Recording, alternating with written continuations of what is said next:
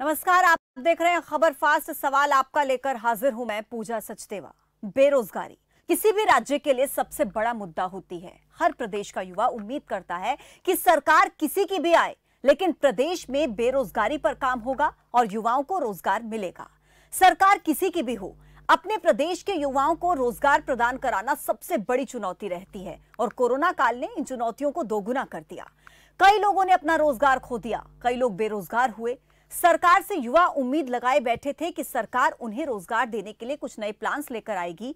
नई भर्तियाँ होंगी, लेकिन हरियाणा के बेरोजगार युवाओं को बड़ा झटका मिला है, क्योंकि सरकार ने कई भर्तियों को रद्द कर दिया है। आज सवाल आपका में, दो खास मेहमान एक्सपर्ट्स मेरे साथ जुड़ेंगे, उनसे इसी मुद्दे को लेकर होगी चर्चा।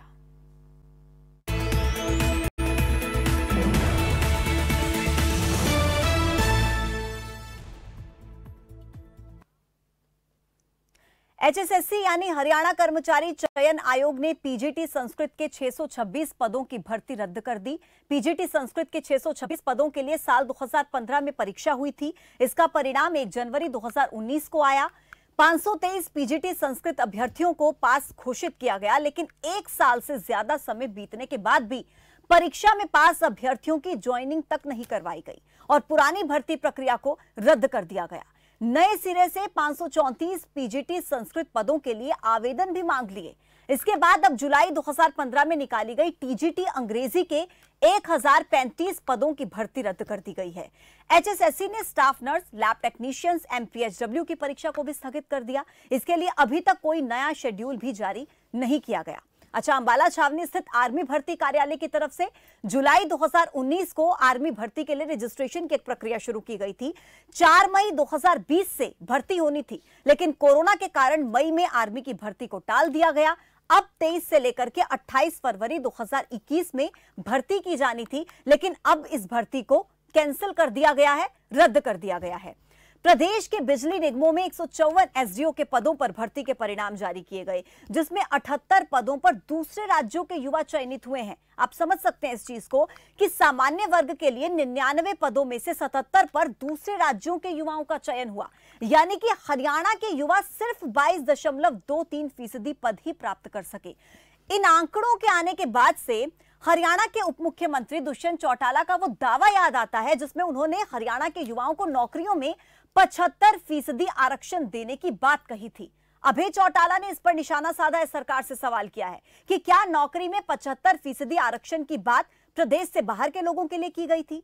कांग्रेस के राष्ट्रीय महासचिव रणदीप सुरजेवाला ने कहा है कि टीजीटी अंग्रेज़ी के एक हज़ार पैंतीस पदों का विज्ञापन वापस लेकर के हरियाणा सरकार का युवा विरोधी चेहरा फिर से बेनकाब हुआ। सरकार ना तो रोज़गार दे रही है और ना ही बेरोजगारी भत्ता। राज्यसभा सांसद दीपेंद्र हुड्डा का कहना है कि कोरोना के चलते प्रदेश में ये हालात नहीं हुए, बल्कि कोरोना काल से पहले भी हरियाणा के युवा 28 फ़ीसदी बेरोजगारी दर को झेल रहे थे।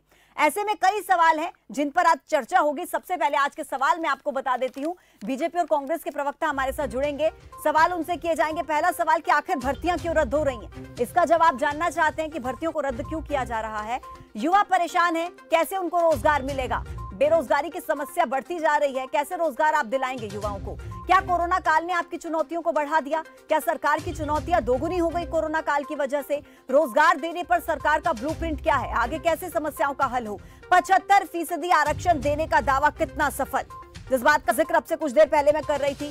कुछ नंबर आपके टेलीविज़न स्क्रीन पर फ्लैश हो रहे हैं। नंबर्स पर कॉल करके आप अपने सवाल पूछ सकते हैं, अपनी राय आप दे सकते हैं। आपके मन में बेरोजगारी को लेकर के युवाओं को लेकर के अपने मन में कोई भी सवाल हो, इन नंबर्स पर कॉल करके आप सीधा डायरेक्ट बात कर सकते हैं। बीजेपी और कांग्रेस के जो प्रवक्ता हमारे साथ जुड़ेंगे और सीधे सवाल आप उनसे कर सकते हैं। परामर्श अगर आप कोई देना चाहें तो वो भी इन नंबर्स पर कॉल करके आप दे सकते हैं।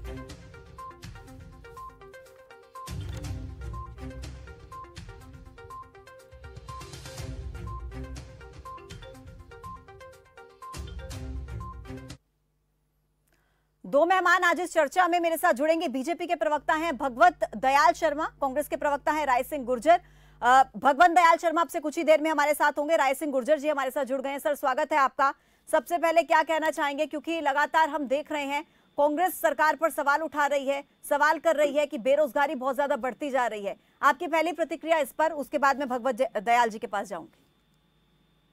पूजा जी, हरियाणा प्रदेश में, हरियाणा की जो सेक्टर और जो संघ की सरकार है इन्होंने हर मुद्दे पर, हर मोर्चे पर, प्रदेश के हर नागरिक के साथ बद्दा मज़ाक किया है। और जहाँ तक आपका जो आज का मुद्दा है कि किस प्रकार से इन्होंने कर्मचारी चयन आयोग के बैनर तले प्रदेश के युवाओं के साथ जो भ्रष्ट आचरण के सारे तरीके अपनाकर उनका भविष्य सड़कों पर ला दिया है, ऐसी सरकार को क्या युवा माफ़ करेंगे?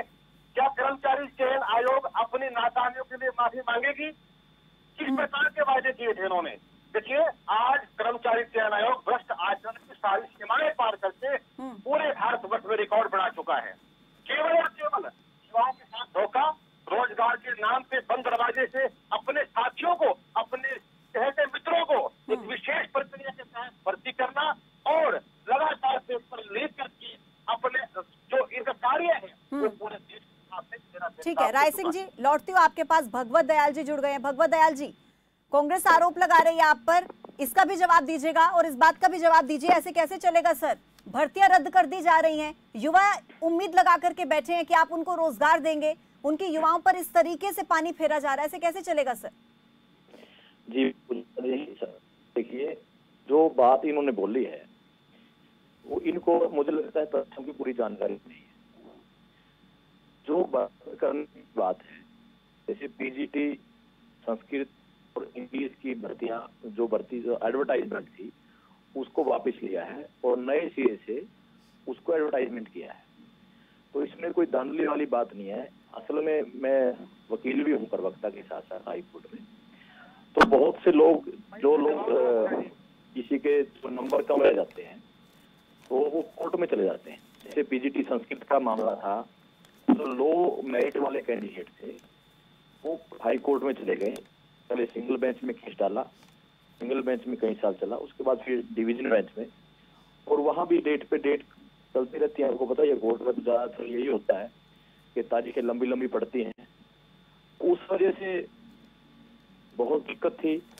सरकार ने ये बीच का रास्ता निकालते हुए कि उस जो जिस भर्ती में खामियाँ कुछ रह गई, जिसमें जिसकी एडवर्टाइजमेंट में, जिसकी क्वालिफिकेशन में, जैसे संस्कृत का मामला था, उसमें हुडा सरकार ने क्या किया था कि जो शास्त्री किए हुए लोग थे जो संस्कृत के मूल विद्वान होते हैं, उनको बाहर करने के लिए उसको कह दिया कि शास्त्री वाले मान्य नहीं होंगे। तो वो लोग कोर्ट में चले गए। कोर्ट ने कहा कि संस्कृत वाले क्यों नहीं माने तो जो शास्त्री है, वो तो बेसिक संस्कृत का विद्वान है। तो कोर्ट ने कहा, इनको आप शामिल कीजिए। तो हमने उनको शामिल कर दिया। फिर जो लो मेरिट वाले लोग थे जिनकी मेरिट लो थी उनको लगा कि आप बाहर हो जाएँगे वो कोर्ट में चले गए। तो ये कई साल से केस चला था। तो इसलिए उस विज्ञापन को ही हम्म, जो कि हुड्डा साहब के टाइम में निकला था उसको वापिस लिया और अब नए सिरे से पंद्रह मार्च रखिए इसमें एग्ज़ाम होगा। और एग्ज़ाम के बेस पे मेरिट के मैं पे आपसे और भी सवाल करती हूँ भगवत दयाल जी। दर्शक मेरे साथ जुड़ रहे हैं। सबसे पहले उनके सवाल ले लेते हैं सुमित हिसार से। सुमित जी स्वागत है आपका। Thank you. पूछिए अपना सवाल। सर मैं ये पूछना चाहता हूँ जैसे जैसे भर्तियाँ होती हैं उसमें रिक्रूटमेंट प्रोसेस जब एडवर्टाइजमेंट होती है तो उसमें पहले ना एग्ज़ाम डेट दी जाती ना उसमें एक कंप्लीट प्रोसेस नहीं दिया जाता। सर और दो दो साल साल तीन तीन साल तक आपकी भर्तियाँ कंप्लीट नहीं हो पाती तो उसका क्या बोलोगे सर उसके ऊपर आप? ठीक है। सुमित जी शुक्रिया आपका भगवत दयाल जी एक और कॉलर है मेरे साथ उनका भी सवाल ले लेते दोनों का जवाब दीजिएगा करतार सिंह झज्जर से। करतार जी स्वागत है। नमस्कार मैडम जी, नमस्कार। ऐसा है मैडम, जो ये बात कर रहे हैं, बीजेपी के प्रवक्ता या बीजेपी की सरकार, ना तो बेरोजगारी होता है। सारी भर्तियाँ कैंसिल कर रहे हैं।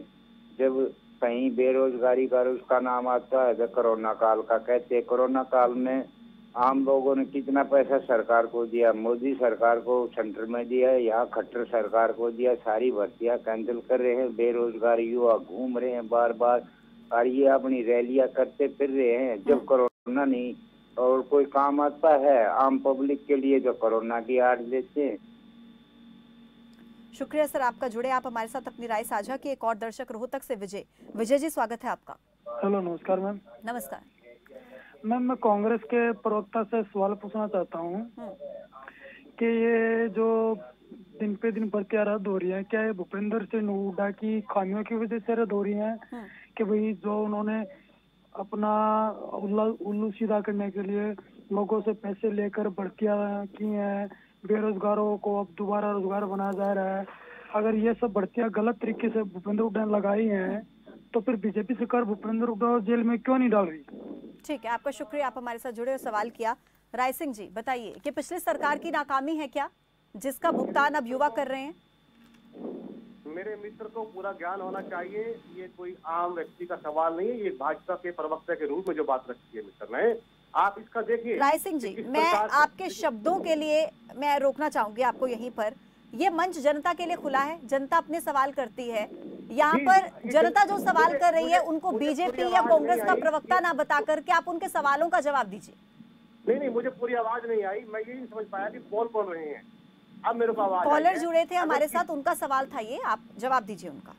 हाँ मेरे मित्र का जो सवाल है मैं उसका सम्मान करता हूँ लेकिन उसमें सुधार करता हूँ कि जिस प्रकार से भाजपा के पिछले सात साल की लगातार अनियमितताएँ लगातार पेपर लीक लगातार मुद्दे और लगातार आप आपको जो क्वेश्चन किया उसका उत्तर दो ना क्या आपको ये पूछा गया कि जैसे की भर्ती है राय सिंह जी आप अपने आपसे जो सवाल किया गया आप उस सवाल का जवाब दीजिए। भगवत हाँ। जी भी देंगे तमाम सवालों के जवाब। आप पहले इस हाँ, सवाल का जवाब दीजिए कि क्या पिछली सरकार की नाकामी का परिणाम भुगत रहे हैं क्या युवा? बिल्कुल नहीं बिल्कुल नहीं ये खट्टर और दुष्यंत की सरकार की नालायकी का परिणाम है। हम्म। 2015 में ये भर्ती निकली थी। और किस प्रकार से इस भर्ती के सारे नियम कायदे तोड़कर इन्होंने युवाओं को सड़कों पर लाया है। भगवत दयाल केवल जी। केवल खट्टर की नालायकी का आपसे भी सवाल किए गए थे उनके भी सवालों का जवाब दीजिएगा। कॉलर्स लगातार मेरे साथ जुड़ रहे हैं उनके सवाल मुझे लेने हैं। भगवत दयाल जी सबसे पहले जवाब दीजिए आप। देखिए पहले बात तो ये बोल रहे हैं इन, इनका जो इनका जो वो था कि जो हुड्डा जी के टाइम में टीटीआई लगे ड्राइंग टीचर लगे वो सुप्रीम कोर्ट ने उनको निरस्त की बात थी। उसका खमियाजा लोग भुगत रहे हैं। हमारे हमारी सरकार की कोई भी भर्ती जिसमें सिलेक्शन हो गई वो कोर्ट से रद्द नहीं हुई क्योंकि हमारी फेर भर्ती है। जो भर्ती रद्द हुई जो लोग सिलेक्ट हो चुके थे ज्वाइनिंग कर चुके थे नौकरी मित्र, पा आपकी चुके थे वो वो क्या थे पीटीआई टीचर पीटीआई टीचर किसके टाइम पे लगे वो उसके जनता के सामने आया है। बाद ड्राइंग टीचरों की भर्ती रद्द हुई वो किसने लगाया सरकार ने लगाया के था तो ये नहीं की जो है। ना आप अपनी सिर्फ़ बकवासबाजी सभी को करके चाहे वो विधानसभाओं से को, संसदों आपके इस प्रकार से सिर्फ़ के- उनको छुपाने के लिए तो के बीच बात है ना, उसको जनता ना सुन पाए, इसलिए सिर्फ़ चिल्लाना शुरू कर देते प्रदेश हैं। है पूरा समाज है और जनता जानती है। प्रदेश के युवा जानते हैं कि उनके ये- भविष्य को कितना है, कितना ही बोलते रहे, कितना चिल्लाते रहे। एजुकेटेड लोग हैं वो जानते हैं। लेकिन जो बेचारे बोलने वाले हैं उनको बना लेते हैं वो किसानों के 75% की बात का मुझे एक बात का जवाब दीजिए भगवत दयाल जी। मेरा सवाल एक आपसे है। भगवत दयाल जी एक सवाल मेरा आपसे है। मैं रिक्वेस्ट करूँगी प्लीज़ एक एक करके बात रखिए। आप फ़ोन लाइन पे जुड़े हुए हैं दर्शक समझ नहीं पाएँगे। एक एक करके प्लीज़ अपने सवाल का जवाब दीजिए भगवत दयाल जी मुझे बताइए आप आप आप पूजा जी एक चीज़ देखिए। हाँ जी। जब ये बोल रहे थे मैं बीच में इंटरफेयर नहीं करा मैं यही चाहती हूँ कि आप दोनों एक एक करके सवाल करें। दर्शक हाँ, जुड़े हुए हैं कॉल बोलते हैं कॉल कर रहे हैं लगातार हैं, उनके सवाल लेना हाँ। बहुत ज़रूरी है ये मंच उनके लिए है। जब हम जब हम बोलते हैं तो इनको एक ट्रेनिंग दी गई है कि इनकी आवाज़ जनता तक ना जानो दो जन- जनता को गुमराह करके मैं ये इस बात को ठीक बता रहा हूँ। ठीक भगवत दयाल जी आप मेरे एक सवाल का जवाब दीजिए। मुझे ये बताइए भगवत दयाल जी एक सवाल आपसे एक सवाल आपसे। पिछली सरकार ने क्या किया क्या नहीं किया इसे एक बार के लिए छोड़ देते हैं। मुझे ये बताइए पचहत्तर फ़ीसदी नौकरियों में आरक्षण देने का दावा ये किस सरकार का था? देखिए जो पचहत्तर प्रतिशत रिजर्वेशन है वो जो हमारे हरियाणा में उद्योग लगे हुए हैं उनमें है। सरकारी नौकरी में हम ऐसा नहीं कर सकते। हम्म। सरकारी नौकरी में हमारे हमारे प्रदेश के युवा पंजाब में लगते हैं हम्म। हिमाचल में लगते हैं यूपी में लगते हैं राजस्थान में लगते हैं दिल्ली की नौकरी में हरियाणा के लोगों दबदबा है। तो यदि हम ऐसा कर देंगे तो दूसरे प्रदेशों वाले अपना बना लेंगे। तो वहाँ हम हमारे खिलेंगे युवा ऐसी बात नहीं और जब हमारे जो हमारे बीजेपी सरकार में जितनी नौकरियाँ हैं वो टेस्ट के बेस पे मेरिट के बेस पे लगती हैं। जब वो टीचर उस पेपर को चेक करता है वो ये नहीं देखता ये जो बिजली निगम में। एक सौ एसडीओ के पद पर नियुक्ति हुई है जिसमें से केवल बाईस दशमलव दो तीन फ़ीसदी हरियाणा के युवा हैं। देखिए पूजा जी आप बहुत पढ़े लिखे हैं। आप भी इस बात को मानेंगे जो जो व्यक्ति योग्य है वो बा- और जब हम एडवर्टाइजमेंट लिखते हैं उसमें लिखते हैं कि सिटीजन ऑफ़ इंडिया इंडिया का नागरिक होना चाहिए। यानी आप आप ये कहना चाहते हैं कि हरियाणा के युवा अभी तरीके से एलिजिबल नहीं है समर्थ नहीं है? नहीं मैं ये कहता हूँ इसमें हरियाणा पंजाब की बात नहीं इसमें योग्यता की बात है। जब हमारे हरियाणा के दिल्ली में हरियाणा के लोग लग सकते हैं तो क्या योग्य नहीं है? जब हमारे हरियाणा के पंजाब में लगते हैं क्या वो योग्य नहीं है? तो यहाँ भी ऐसा नहीं है जो लोग योग्य से लगे उसमें उस बात को इनको लेकिन वो कि बहुत कम है। योग्यता पे लगे। शर्मा जी वो परसेंटेज बहुत कम है। तो वो परसेंटेज उसमें हमारा कहीं ना कहीं युवा कमज़ोर रहा है निश्चित तो रूप से मैं मैं वही बात कर रही हूँ युवा सशक्त हो एलिजिबल हो इसके लिए भी तो सरकार को भी कुछ कदम उठाने पड़ेंगे ना इसके लिए इसके लिए हमारी सरकार ने पहल की है कि जो लोग सरकारी स्कूलों में पढ़ने वाले बच्चे हैं हम्म। हमारी सरकार उनको फ्री ऑफ़ कॉस्ट कोचिंग दे रही है और जिसका परिणाम ये हुआ कि टॉप हंड्रेड में से थर्टी थ्री युवा बड़ी बड़ी जो संस्थान है इंडिया के उनमें उनके एडमिशन हुए हैं। हम्म। तो हम हम पहल कर रहे हैं और ऐसे धीरे धीरे माहौल ऐसा बनेगा ठीक है। आती हूँ आपके पास। राय सिंह जी आपका भी रुख करूँगी। एक दर्शक है झज्जर से जगबीर सिंह। जगबीर जी स्वागत है आपका। नमस्कार मैडम जी। नमस्कार। आपका धन्यवाद जो हमारा कॉल आपने अटेंड किया। मैडम जी ऐसा है कि ये जो अभी भर्तियाँ बाईस हमारे आदमी लिए गए हैं जो और बाकी नमस्कार मैडम जी। सर अपना सवाल पूछिए अपनी टीवी की वॉल्यूम थोड़ी कम कर है जो हमारा कॉल अटेंड किया। सर एक बार कॉल दोबारा से कनेक्ट कीजिएगा आपको आवाज़ बहुत लेट पहुँच रही है हमारी। आपका बहुत शुक्रिया आप हमारे साथ जुड़े। रामपाल यमुनानगर से जुड़ गए। रामपाल जी स्वागत है आपका। संपर्क उनसे टूट गया। राय सिंह जी आप कुछ कह रहे थे पूरी कीजिए अपनी बात। पूजा जी जिस प्रकार से मेरे मित्र भाजपा के प्रवक्ता अपना अज्ञान यहाँ पर दे रहे हैं कि हरियाणा प्रदेश के युवा एक योग्यता नहीं रखते इसलिए 22 परसेंट ही केवल भर्ती हुए हैं। इनको शर्म आने की इस बात के लिए हरियाणा प्रदेश के मैंने ये कहा कि हरियाणा योग्यता का, उसकी में- शिक्षा का इन्हें माफ़ी मांगनी चाहिए। दूसरी बात मैं बताता हूँ कि रहे जहाँ हैं, पर भर्ती होती है इनका भर्ती करने का तरीका केवल यहाँ एक ही है। इनका भर्ती करने का तरीका यह है को ये हरियाणा प्रदेश के मतलब? युवाओं को या देश दुनिया के युवाओं को केवल जहाँ अगर उसके ऊपर उसके साथ किसी भी प्रकार से आरएसएस और दूसरी सिफारिशों का प्रमाण पत्र साथ होता है तभी हरियाणा भर्ती करते हैं। क्योंकि हरियाणा के मुख्यमंत्री कार्यालय हरियाणा के मुख्यमंत्री का प्रशासनिक कार्यालय पर प्रदेश के बाहर के अधिकारियों का उनके चेहरों का कब्जा किया हुआ है। और हरियाणा के युवा अपने रोज़गार के लिए सर सर की ठोकरे खा रहे हैं। इन्हें हरियाणा प्रदेश के करने के लिए मेरे मित्रों बात कर रहे हैं कि सरकार में सरकार में किस प्रकार की अनियमितताएँ हैं। सरकार ने भ्रष्टाचार के सारे इस तरीके के शब्दों का इस्तेमाल ना कीजिए। प्लीज़ बेरोजगारी का मुद्दा हमने उठा रखा है प्रदेश से जुड़ा है और ये केवल हरियाणा की समस्या नहीं है पूरे देश की समस्या हर राज्य में समस्या है। ये बताइए मुझे मैंने ये बोला कि हरियाणा के युवाओं का दिल्ली की नौकरियों में दबदबा है पंजाब में दबदबा है राजस्थान में दबदबा है। लेकिन सर ये जिस शब्द का आपने अभी इस्तेमाल किया पप्पू शब्द का आपने इस्तेमाल किया इस इस तरीके के शब्दों का इस्तेमाल आप करने से बचिए ना मत कीजिए इस मंच के ज़रिए शब्द का इस्तेमाल आप जो सोचते हैं जिस भी तरीके हूँ कि देखो हमारी सरकार नौकरियाँ योग्यता के भी देती है प्रदेश जातिवाद या क्षेत्रवाद के आधार पर नहीं देती बस। ही है। ठीक है दर्शक जुड़ रहे हैं उनके सवाल ले लेते हैं। झज्जर से कृष्ण सारा। कृष्ण जी स्वागत है आपका। नमस्कार जी मैडम जी। नमस्कार। नमस्कार जी मैडम जी मैं एक सातवीं फैल आदमी हूँ गाँव सारा से हूँ। हम्म। हाँ जी। सर टीवी का वॉल्यूम कम कर लीजिए जी मैडम जी।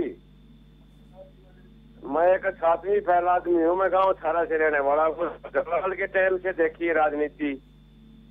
हम्म। ऐसा कभी नहीं रहा जो अब सरकार आई। इसमें इतना जो कदर माचा है आज तक कदे नहीं माचा। हम्म। ठीक है आपका शुक्रिया आप हमारे साथ जुड़े। एक और दर्शक यमुनानगर से राजन। राजन जी स्वागत है आपका। मैडम नमस्कार जी। नमस्कार। मैडम मेरा बीजेपी के जो प्रवक्ता बैठे हैं इनसे सवाल है कि ये कह रहे हैं कि ये कांग्रेस सरकार के हटा दिए या किसी बीजेपी वालों ने कांग्रेस के हटा दिए कांग्रेस वालों ने बीजेपी के लगाए हटा दिए। हम्म। इन बीजेपी की गवर्नमेंट में ग्रुप डी की भर्ती हुई थी। हम्म। उसमें से जो बच्चे लगे हैं एक, एक साल की नौकरी के बाद स्पोर्ट्स कोटे में से बच्चों को हटा दिया गया है। नौकरी एक साल करने के बाद कि उनके सर्टिफिकेट ठीक नहीं है। तो इसमें किसका दोष है? बच्चों का दोष है या तो उनको रिक्रूटमेंट देनी चाहिए थी? इसमें तो सीधा ही गवर्नमेंट का दोष है एस बोर्ड का दोष है। उनको तो वैसे मिलकर किस सालों में नौकरी कर ली? हम्म। भगवत दयाल जी जवाब दीजिए। दोबारा एक बार क्वेश्चन रिपीट करना। राजन जी आप हमारे साथ जुड़े हुए हैं? संपर्क उनसे टूट गया फिर से जुड़ेंगे अपना सवाल वो करेंगे। ग्रुप डी की भर्तियों को लेकर के उनका सवाल था भगवत दयाल जी। अच्छा कांग्रेस के जो राष्ट्रीय प्रवक्ता हैं उनका कहना है कि आप लोग ना तो बेरोजगारी भत्ता दे रहे हैं ना आप लोग रोज़गार दे रहे हैं।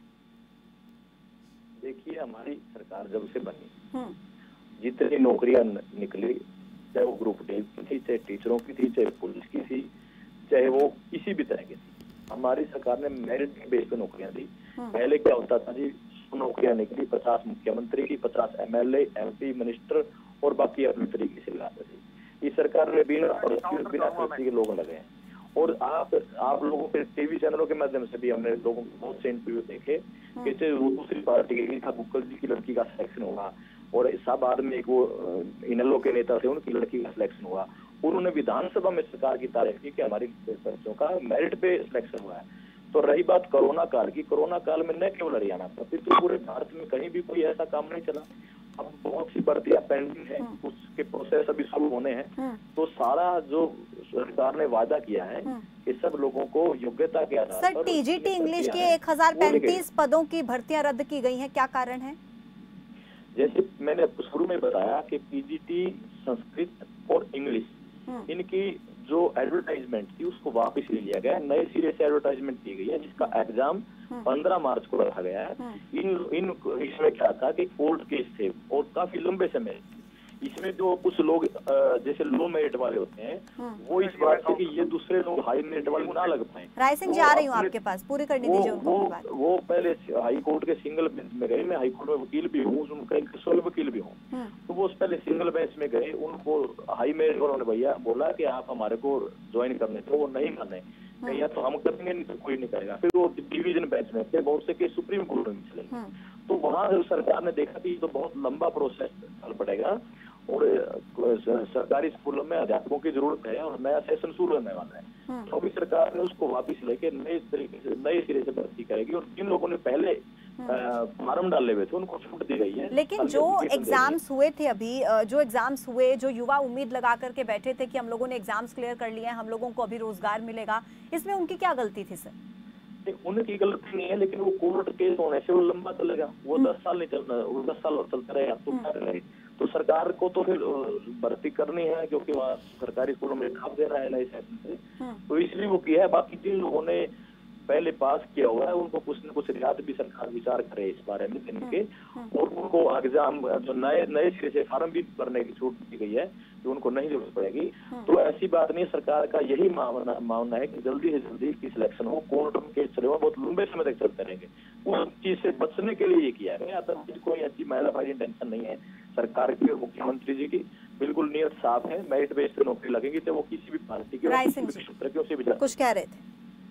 पूजा जी देखिए मेरे मित्र एक अधिवक्ता हैं उनका सम्मान है लेकिन भाजपा के प्रवक्ता के रूप में जिस प्रकार झूठ बोल रहे हैं उसको इस प्रदेश के युवा विशेषकर वो जो टीजीटी हमारे योग्यता हम भी आपका सम्मान उनके साथ बड़ा न्याय किया। लेकिन देखिए अभी तो अभी कर हाई कोर्ट के अंदर चौबीस तीन दो हज़ार इक्कीस तारीख लगी है। हम्म, सरकार ने उससे पहले, वहाँ जवाब देने से पहले अपने हाथ खींच लिए, क्योंकि सरकार की दुलमुल नीति है।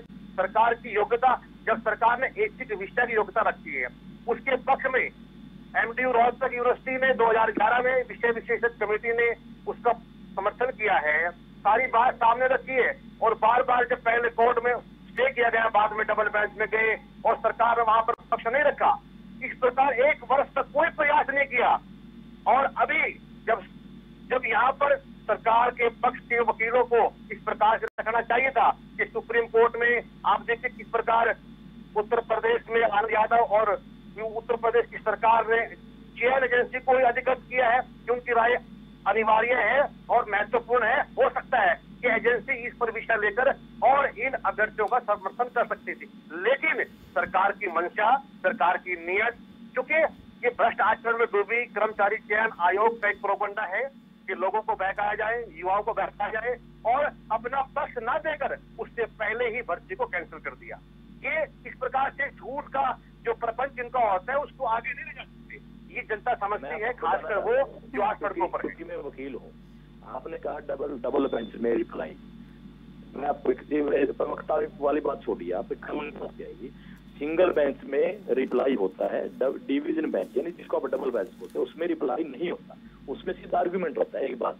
दूसरी बात यह है कि आप लोग कहते हैं कि जी, हमारी नीयत खराब है, नीयत खराब तो आपकी है कि आपके पीटीआई टीचर, दस साल नौकरी करके आपकी भर्ती प्रक्रिया वहाँ पर सुप्रीम कोर्ट ने रद्द कर मित्र, मैं वहाँ पर दी आपके ड्राइंग टीचर वो हटा दिए। हरियाणा प्रदेश तो हमारा सरकार ने हमारी हमारी कोई भी हमारी कोई भी भर्ती सुप्रीम कोर्ट के सुनिए आप ये दिक्कत है आप को सुनना नहीं सकती, तो आप ये ड्राइंग कि हमारी कोई भी भर्ती किसी भी कोर्ट में PTI रद्द नहीं की नौकरी ना इस जाती। बात पे आइए आप। क्योंकि आपकी ये जो है, भड़काने वाली है, भड़काने और आप नहीं जो चाहते बातें हैं उसको प्रदेश छोड़िए। का अब जो सदी लोग समझते हैं कि ठीक है। बाहर मिले। क्योंकि आपका जो भर्ती आप दोनों का ही बहुत शुक्रिया। मेरे साथ सवाल आपका में जुड़ने के लिए तमाम सवालों के जवाब देने के लिए। तो देखिए बेरोजगारी जैसा कि मैंने पहले भी कहा कि हर किसी राज्य का एक बहुत बड़ा मुद्दा रहती है। सरकार के लिए बड़ी चुनौती रहती है। ज़ाहिर सी बात है कोरोना काल आया कोविड के समय में कई लोग बेरोजगार हुए कई लोगों की नौकरियाँ गई। लेकिन कहीं ना कहीं सरकार से उम्मीद लगा करके युवा अब भी बैठे हैं कि सरकार उनके लिए कुछ नए प्लान्स लेकर के आएगी कुछ नई भर्तियाँ लेकर के आएगी जिसके ज़रिए वो अपने घर का पालन पोषण कर सकेंगे और आत्मनिर्भर बन सकेंगे। लेकिन फ़िलहाल काफ़ी भर्तियाँ रद्द की जा रही है, जिसके पीछे कहीं ना कहीं सरकार अपने कारण बताती है और कहीं ना कहीं विपक्ष की बात की जाए तो वो भी लगातार सरकार पर इसको लेकर के हमलावर दिखता है। लेकिन बात यह है कि कुछ भी हुआ हो अतीत में अगर हम अतीत की बात करें तो पिछली सरकारों ने कुछ भी किया हो, लेकिन अब जो सरकार सत्ता में है, उससे देश के युवा जो हैं, वो उम्मीद भी कर रहे हैं और ये रिस्पॉन्सिबिलिटी अकाउंटेबिलिटी भी बनती है कि आखिर प्रदेश के युवाओं के लिए सरकार आगे भविष्य में क्या करने वाली है। पल पल का अपडेट आप तक पहुंचाएँगे, सवाल आपका में। मेरे साथ अभी के लिए फ़िलहाल इतना ही। आप बने रहिए खबर फास्ट के साथ। नमस्कार।